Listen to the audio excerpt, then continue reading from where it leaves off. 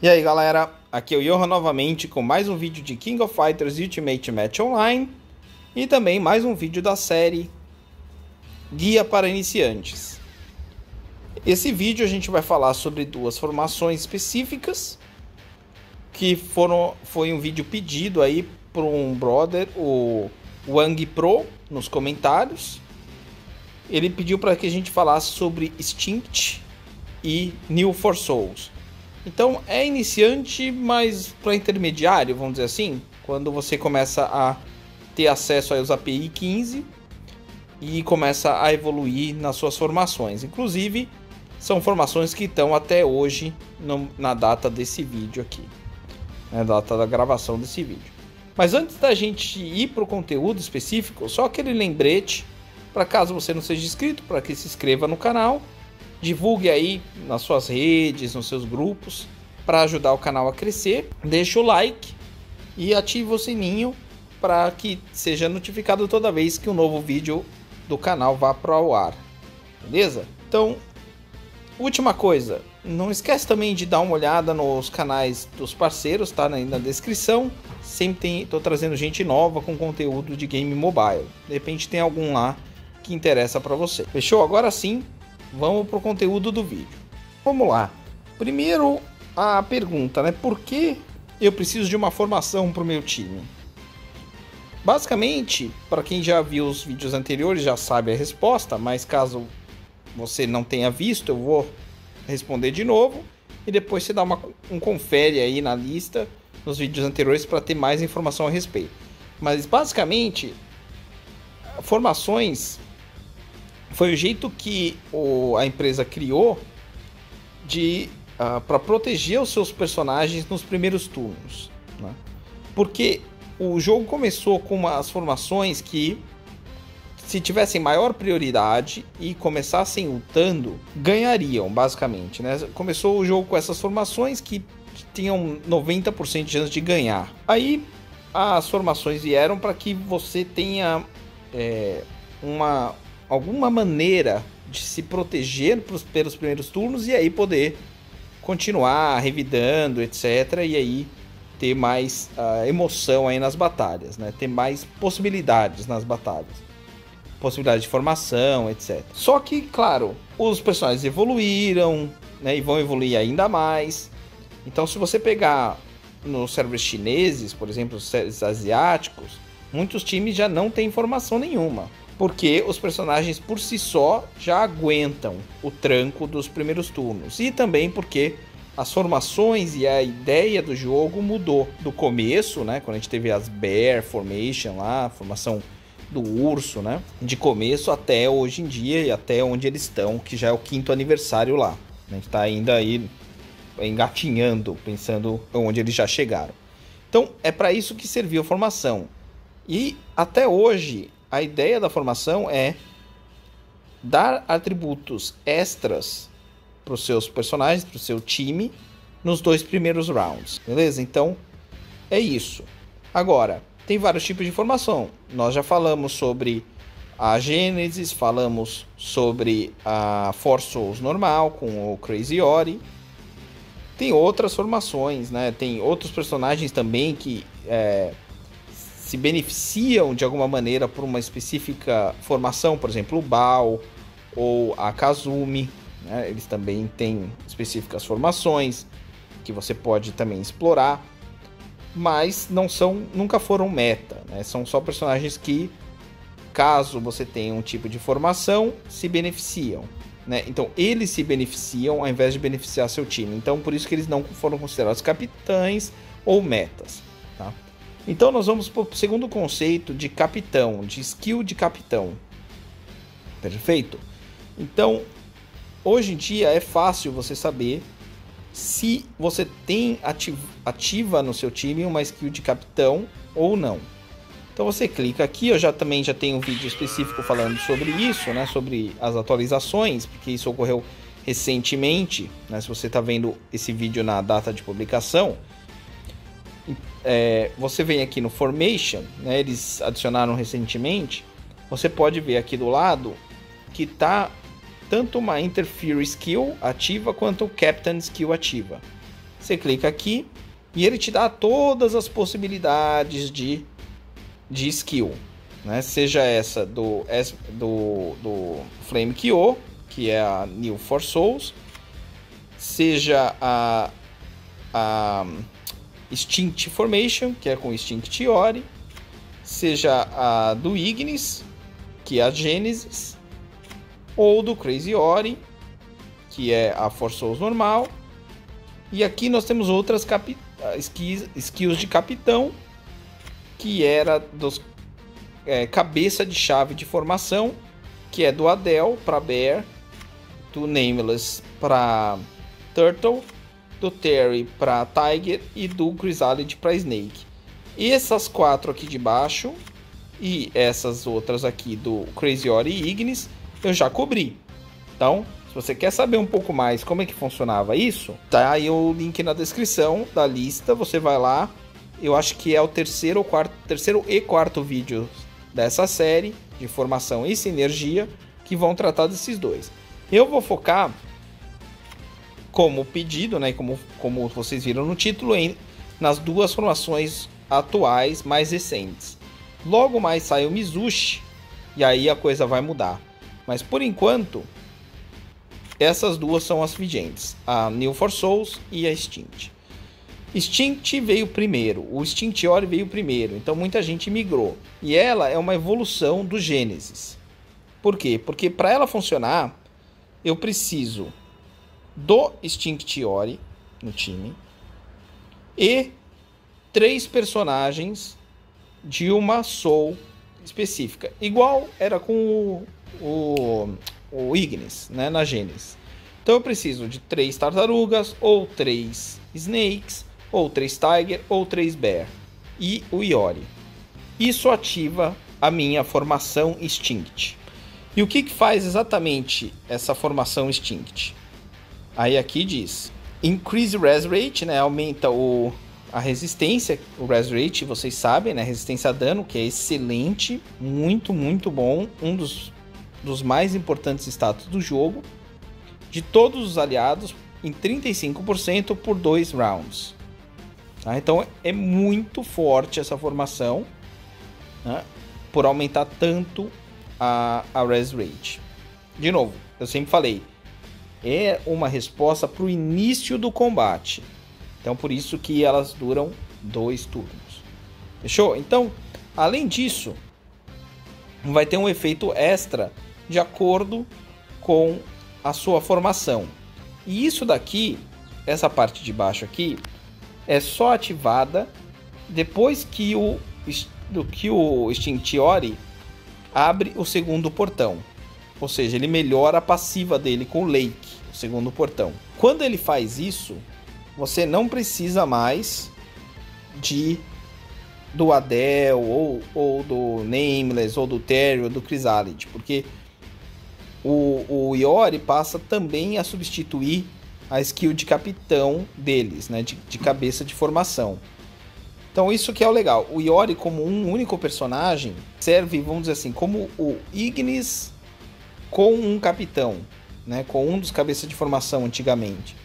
São sempre dois, é dois pelo preço de um, vamos dizer assim. Sendo que é diferente, o Ignis era bloqueio, etc, aumenta o bloqueio, ele aumenta o res rate, mas a gente faz essa comparação, sempre fizemos, né, que é ele é uma evolução, como eu disse, do Gênesis. Então, se você for Snake, se for uma Extinct Snake, recordando, Extinct Ori mais 3 Snakes, que, que vai acontecer? A chance de você dar skill, né, skill dos seus personagens dar skill, vai aumentar em 20%. E, além disso, sempre que, que seus personagens derem uma skill, eles também vão recuperar o HP. Legal? Então, basicamente tem essa melhoria se você for um Instinct Snake. Se você for um Instinct Tiger, aí o que acontece é que o crítico dos seus personagens aumenta em 20%. Tá? Então, bem simples, bem straightforward.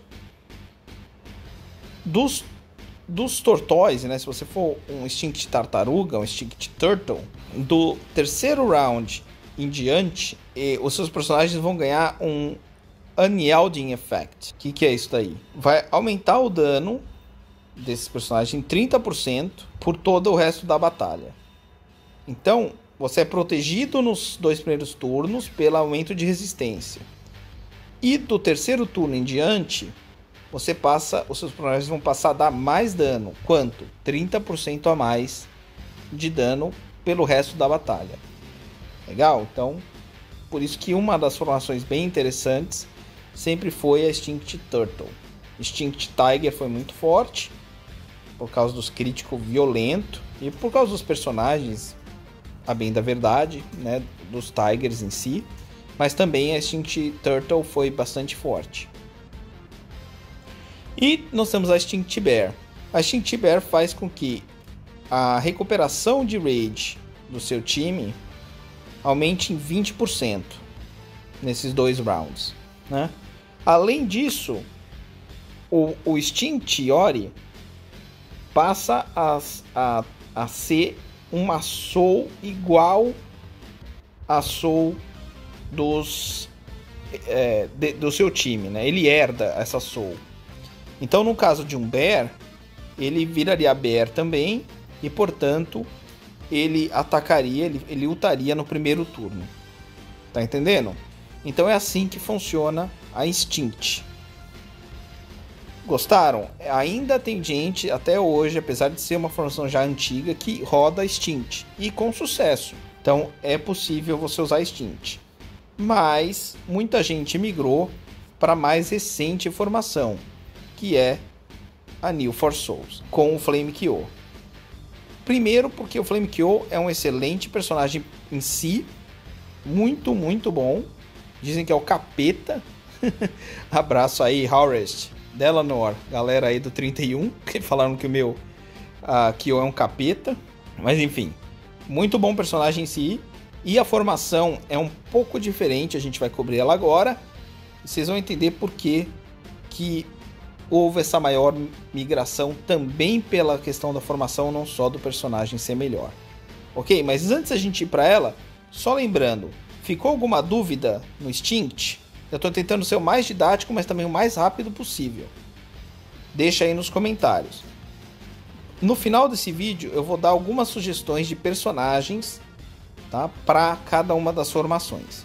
Fechou? Então, bora pro, pro próximo, que é a New for Souls, com o Flame Kill. Além disso, é interessante mencionar, porque naquela tela não mostra, né, porque é um efeito que eles não relacionam com a For Souls, relacionam com o fato de ter o Kyo no time, e isso é interessante só mencionar, né? não é necessariamente ligado a, Force, a New For Souls, né? ou a Extinct, mas é interessante dizer que por ter o Kyo no seu time, o seu time vai ganhar certos atributos. A gente vai ver aqui quais são. É dano e HP, a gente vai mostrar. Mesma coisa se você tiver o Extinct Ori no time. E também tem uma possibilidade de você ter os dois. Então vamos ver, vamos ver o que, que é. Então você entra aqui, vai aqui no skill e você vai, vai dizer aqui logo no começo que o Kyo ele vai dar, só por ele estar tá no seu time, ele vai aumentar o dano dos seus personagens de linha de frente e vai aumentar a resistência dos personagens da linha de trás. Legal, né? Então isso não tem a ver com os Force Souls. Tá? Você pode só ter, deixar o teu Kyo no time, mesmo no futuro, quando tiver o, é, o Mizushi, ou mesmo que você não tenha formação nenhuma, esses são efeitos da passiva dele que independem da Force Souls. Ou seja, é interessante manter o Kyo. Claro, isso aí agora já é pra galera avançada, gente. Muita gente vai substituir o Kyo pelo Mizushi. Né? É o, o Mizushi é o substituto, é, vamos dizer, ideal, não ideal, mas o, o, o Kyo é o cara que normalmente vai sair para entrar o Mizushi, vamos dizer assim, tá? Essa é a substituição mais padrão, a mais esperada. Mas também você pode imaginar manter o Kyo no time e adicionar esses dois efeitos para os seus personagens, tendo o Mizushi lá também. Então, isso é mais uma dica para avançados, mas fica aí, beleza? Um dia aí para vocês iniciantes também saberem. Só que o Iori também dá atributos. Né? O Iori ele vai dar HP para os personagens da vida da linha de trás e dano para os personagens da linha da frente. Agora, a questão aqui é só o seguinte: se você usar o Kyo e o Iori no time, essa, essas porcentagens vão ser cortadas pela metade. O que é justo, porque tanto um quanto o outro vão adicionar, certo? Então, se fosse full, né, se adicionasse tudo, né, o ataque, todo, todo o dano e todo o HP para os dois, é, ia ser muito forte. Então, o que eles fizeram aqui, caso você utilize os dois, essas porcentagens vão ser cortadas pela metade, o que no final das contas vai resultar numa coisa bem parecida, né? Um, um como se você estivesse usando um deles, mais ou menos, tá? É bem a grosso modo. Mas dá para usar, não é ruim usar o Kyo e o Iori no mesmo time. Eu mesmo usei por muito tempo.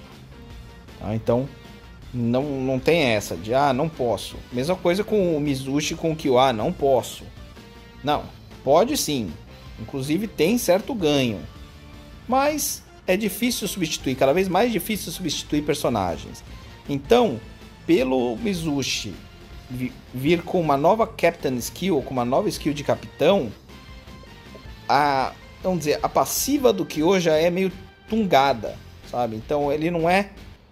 Você não vai estar tá utilizando o potencial total do personagem. Por isso que ele é uma substituição, e aí eu lembrei o, o, ver, o adjetivo que eu estava pensando, que é natural. Esse, essa era a palavra que eu estava procurando. É uma, um substituto natural do Kyo. Fechou?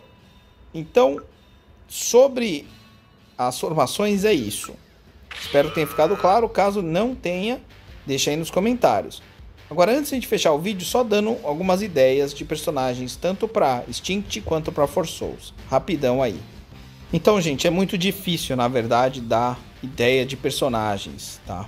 Porque, por exemplo, eu tenho uma Force Souls, uma New Force Souls. Tá? Nós vamos ver na arena algumas outras no, no server a 31.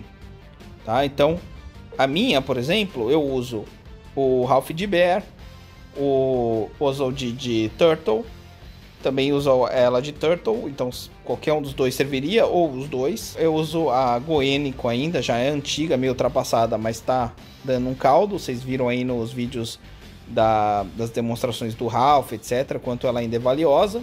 De Snake. E a minha Tigre é o Xion, tá? Então, essa é uma possibilidade.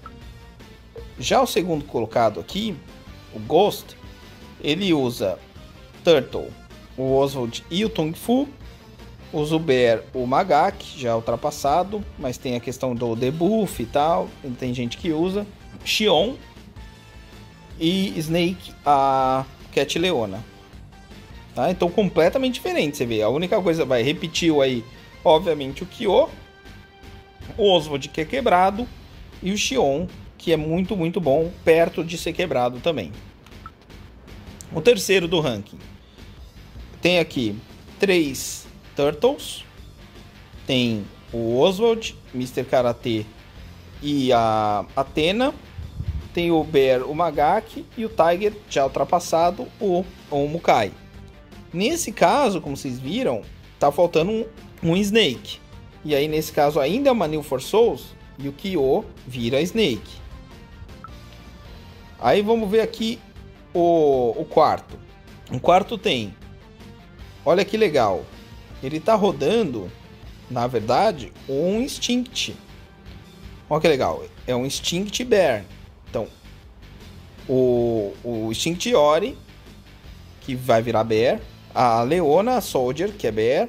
Ralph é Bear, o Magaki que é Bear, e aí tem um Turtle, que é a Atena, e tá usando o Kyo.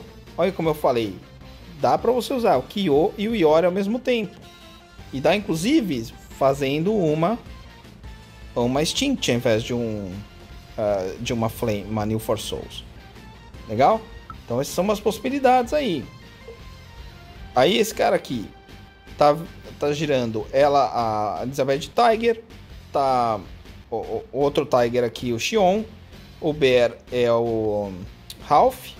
Tá rolando dois Turtles, o Oswald e a Athena. E de novo, o Snake é o Kyo para Force Souls. Legal? Então, de novo, você pode ver que tem uns personagens que se repetem aqui. Oswald, como sempre, Xion, como sempre. Aí nós temos a Athena aparecendo bastante e o Ralph aparecendo bastante também. Você pega aqui o outro. Aí é o seguinte, Tiger sendo Xion, o Oswald e a Athena, que esse parzinho repetindo outra vez como os Turtles, o Magak já ultrapassado, mas de novo, servindo como Bear, o Saik já meia bomba servindo de Snake, e aí você tem uma Force Souls com o Kyo. Tá? O ilusionista, ele rodava com o dois Tigers, com o um API 14 ainda, o Robert, porque ele pegou o Ryo como é, striker, suporte, e aí eles estão junto, é, um, é bem legal, eles são um dos melhores suportes, se não os melhores API 14 suportes do jogo. Se não, claro, o time female vai preferir outro. Não vamos entrar na discussão. Uh, se vocês quiserem uma discussão sobre suportes, deixem aí nos comentários. Com certeza o Oswald quebrado, Xion de novo, o Mr. Karate e o coisa. Então, nesse caso também o Kyo vira um Snake. Então, gente, eu não vou muito mais para lá. Vamos mais um, vai. Ah, que legal. Esse daqui, ó, você ver como é possível rodar outro tipo de formação. Legal que eu, que eu fui mais um. Isso aqui é um female, né? Então, a capitã dos females é a Atena. Lembra que eu falei que tem outras formações? Tá aí uma. Excelente é, fim de vídeo aí pra vocês. Então, tá aí. A Atena e aí só female. Ela precisa para rodar perfeito, precisa de seis females no time. Tá? Não importa quais souls. Legal, então é isso. Essas são.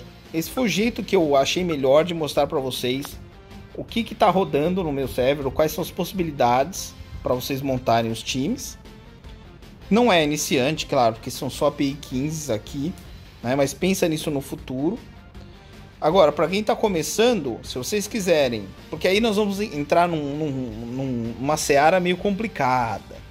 Né? Quais personagens Turtle eu escolheria? Quais Bear? Se vocês querem esse vídeo, eu faço e vai ser focado em API 14 Bear, ou API 13 Bear, ou, ou Turtle, ou Tigre, etc. para ajudar vocês. Eu já fiz mais ou menos, eu não vou fazer isso agora de novo, porque eu já fiz mais ou menos no, nos vídeos anteriores. Já dei algumas pinceladas. Se vocês quiserem um vídeo dedicado a isso, deixa nos comentários. Maravilha? Então é isso, isso conclui o vídeo. Espero ter explicado bem, ter dado alguns exemplos, ter sido o mais rápido e didático possível. Se vocês gostaram, deixe o joinha. Não esquece de se inscrever caso não seja inscrito. Um abraço e até a próxima.